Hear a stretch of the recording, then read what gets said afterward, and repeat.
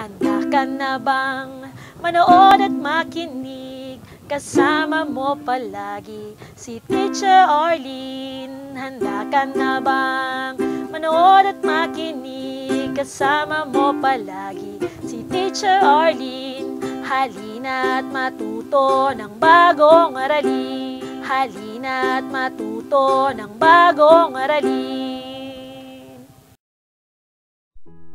Ang ating asignatura ngayon ay Araling Panlipunan para sa Baitang Isa. Tayo ay nasa unang markahan, ikatatlo at ikaapat na linggo. Na-miss niyo ba si Perry Parrot? Ano nga ba ang ating aralin sa araw na ito, Perry Parrot?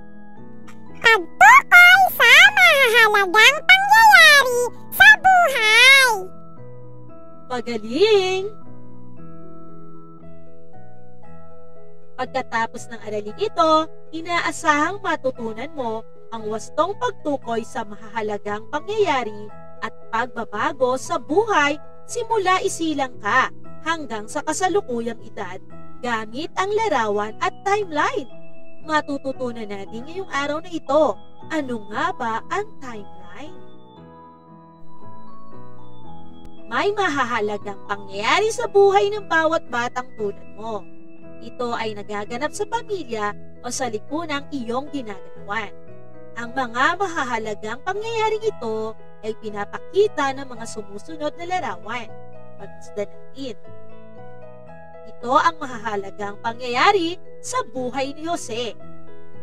Sa unang larawan, ipinapakita na ipinanganak si Jose noong ika-23 ng Agosto 2012.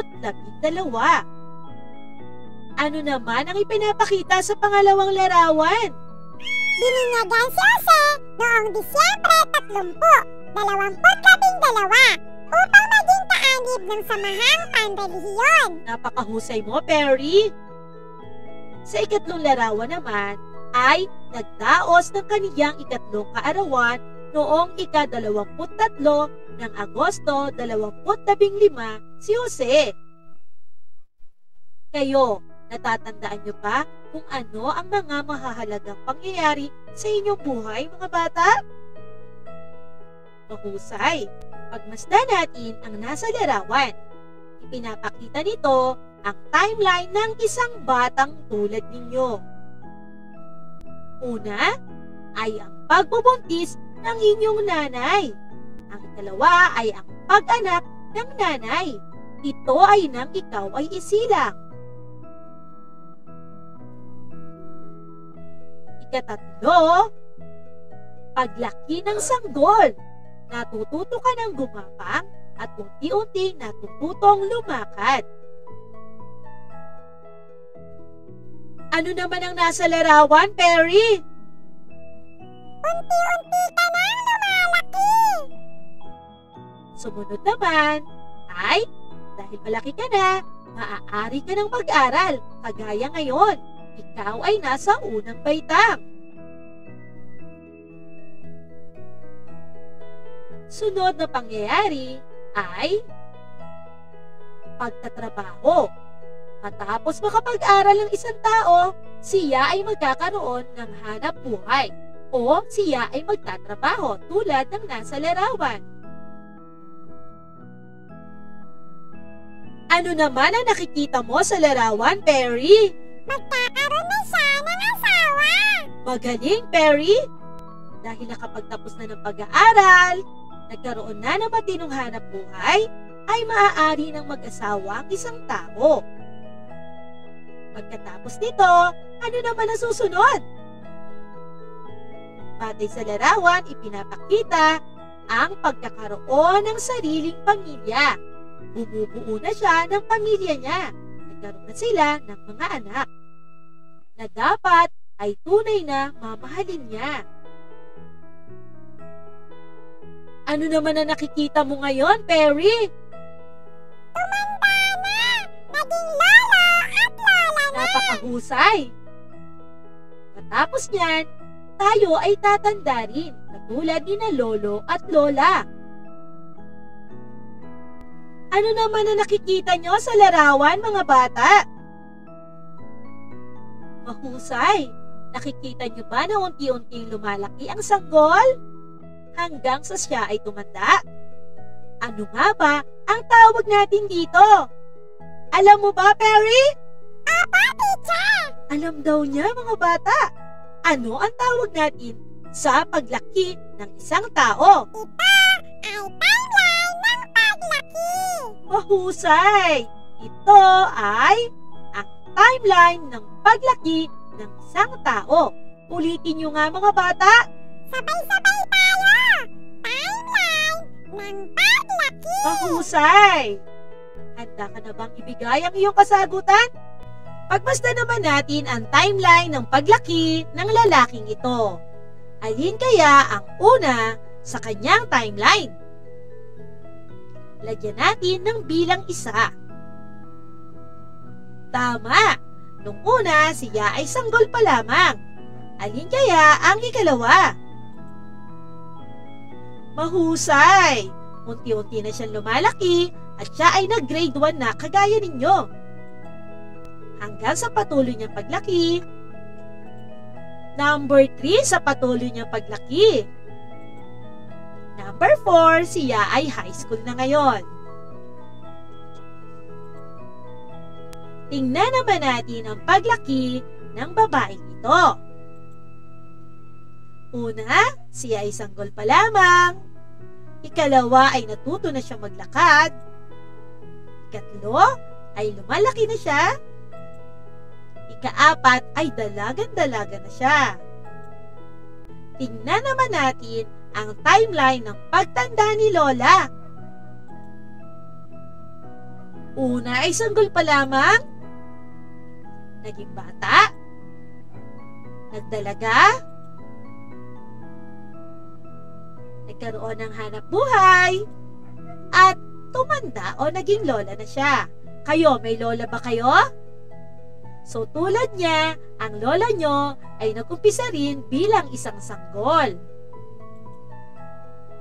Tingnan naman natin ang timeline ni Lolo.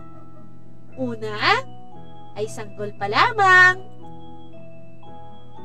Lumaki na siya. Naging kuya. Naging tatay. At naging lolo. May lolo ba kayo? Tulad ni Lola, si Lolo ay nagmula rin sa pagkabata o sanggol. Tingnan nyo naman ang timeline ng paglaki ni Teacher Arlene. Una ay sanggol pa lamang si Teacher, naging bata, patuloy na lumalaki at nakapag-aral, nakatapos sa pag-aaral bilang isang guro at ngayon ay isang ganap na guro. Tulad ni teacher, kayo rin ay lalaki. Kaya kailangan mag-aral kayong mabuti upang magkaroon kayo ng magandang hanap buhay na maaari niyong ibuhay sa inyong magiging pamilya at magiging anak. Tandaan niyo yan mga bata. Para sa inyong gawain sa pagkatuto bilang isa, buksan sa pahina 15. Ano ang gagawin nila, Perry?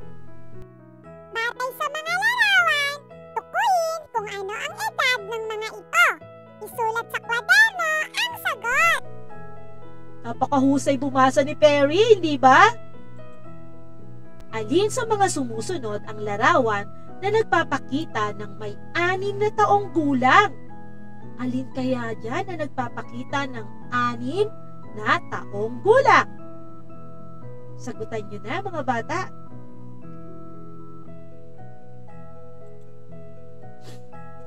Para sa ikalawang bilang, batay sa mga larawan, alin sa mga ito ang may anim na buwang gulang? Anim na buwang gulang. Alin kaya dyan? Sagutan nyo na mga bata.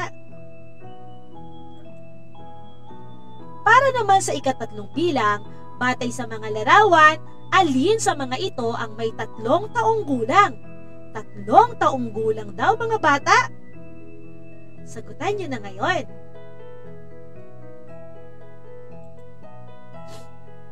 Sa ikaapat na bilang, Alin sa mga larawan sa ibaba ang may edad na... Ilang taong gulang daw, Perry? Limang taong gulang. Alin kaya dyan na nagpapakita ng limang taong gulang? Para naman sa ikalimang bilang, batay sa sumusunod na larawan, alin sa mga ito ang may edad na isang taong gulang? Isang taong gulang daw mga bata. Sagutan nyo na. Ating tandaan. Pakibasa nga, Perry. May mahahalagang pangyayari sa buhay ng tao na may kinalaman sa kanyang paglaki. Simula nang siya ay isilang hanggang sa kanyang kasalukuyang edad. Kasabay ng pagbabago ng kanyang edad ay ang Ulitin ko mga bata. May mahahalagang pangyayari sa buhay ng tao na may kinalaman sa kaniyang paglaki. Simula nang siya ay isilang hanggang sa kaniyang kasalukuyang edad. Kasabay ng pagbabago ng kaniyang edad ay ang mga mahahalagang pangyayari sa kaniyang buhay. Ano nga muli ang tawag natin sa paglaki ng isang tao? Ito ay tinatawag nating Perry? Mahusay mga bata. Sabay-sabay natin sabihin. Timeline ng paglaki. Timeline ng paglaki! Para sa gawain sa pagkatuto bilang dalawa, buksan sa pahina 17. Isulat sa kahon ang bilang isa hanggang lima ayon sa pagkakasunod-sunod ng mga pagbabagong nagaganap sa isang tao batay sa kanyang edad. Isulat sa kwaderno ang iyong sagot. Para sa inyong gawain sa pagkatuto bilang dalawa, buksan sa pahina 17. Isulat sa kahon ang bilang isa hanggang lima ayon sa pagkakasunod-sunod ng mga pagbabagong nagaganap sa isang tao batay sa kanyang edad. Isulat sa kwaderno ang iyong sagot.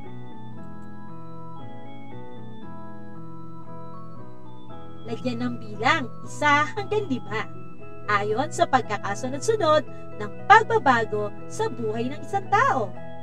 Sagutan nyo na ngayon mga bata. Para naman sa inyong gawain sa pagkatuto bilang tatlo, buksan sa pahina 17 muli. Sa edad na pito, simula Enero hanggang sa kasalukuyan, ano ang mga mahahalagang pangyayari sa buhay mo? Bakit ito mahalaga? Binabati namin kayo ni Perry dahil natapos nyo na ang ikatatlong linggong aralin. Kung hindi ka patapos sa pagsasagot ng iyong module, ano ang dapat nilang gawin, Perry? Maaari mo nang ipagpatuloy ang pagsasagot ng iyong module. Maaari mo ring gamitin muli ang video na ito upang maging gabay mo sa iyong pag-aaral. Maraming salamat sa pakikinig mga bata! Tandaan natin na ang karunungan ay kayamanan. Sabay-sabay natin sabihin, God loves me and you. Paalam hanggang sa muli! Please don't forget to like, share, comment, subscribe, and press the bell button for more videos. Ang ating asignatura ngayon ay Araling Panlipunan, Unang Markahan, Week 4. Ang ating aralin ay pagtukoy sa mahahalagang pangyayari sa buhay. Pagsunod-sunurin natin. Una, ikaw ay sanggol pa lamang, nakakapag-aral hanggang sa lumaki at magbinata. Lagyan ng bilang isa hanggang apat ayon sa pagkakasunod-sunod nito. Ito naman ang timeline ng paglaki ng isang batang babae. Sanggol pa lamang siya, unti-unti na siya nakakalakad, lumalaki hanggang sa ganap na maging dalaga. Ito naman ang timeline ng buhay ni Kikay. Sanggol pa lamang siya, natututo na siya lumakad, nakapag-aral hanggang sa maging ganap na dalaga. Ano ang napansin mong pagbabago sa anyo ni Kikay? May pagbabago ba mula nung siya ay sanggol pa lamang hanggang sa siya ay maging dalaga na? Bakit kaya nagbago ang kanyang anyo? Alam mo ba ang tawag sa iyong nabuo? Ang tawag natin dyan ay timeline. Ipinakikita sa atin ng isang timeline kung kailan naganap ang mga pangyayari at kung ano-ano ang mga bagay na nagbago. Nakakaranas ang lahat ng tao ng ganitong pagbabago. Iayos nga ang pagbabago sa buhay ng isang tao? Lagyan ng bilang. Isa hanggang lima. Lagyan naman ng bilang isa hanggang lima upang mabuo ang timeline. Ito ang pagtanda ng isang lolo. Wala nang siyang sanggol pa lamang, lagyan natin ng bilang hanggang sa siya'y lumaki at tumanda. Ito naman ang timeline ng buhay ng isang guro. Una ay maliit pa lamang siya. Nakapag-aral, nakapagkolehiyo, hanggang sa isang maging ganap na guro. Ang bawat tao ay nakakaranas ng pagbabago sa kanilang pisikal na anyo kasabay ng mga pagbabago sa kanilang katawan ang pagdami ng mga kaya nilang gawin. Subukan nyo nga mga bata, lagyan ng bilang isa hanggang apat upang mabuo ang timeline sa buhay ng iyong guro. Alin kaya ang unang pangyayari sa buhay ng guro? Ikalawa, ikatlo, hanggang sa maging ganap na guro. Binabati kita, natapos mo na ang ikaapat na linggo ng ating aralin. Sana ay marami kang natutunan sa araw na ito. Paalam!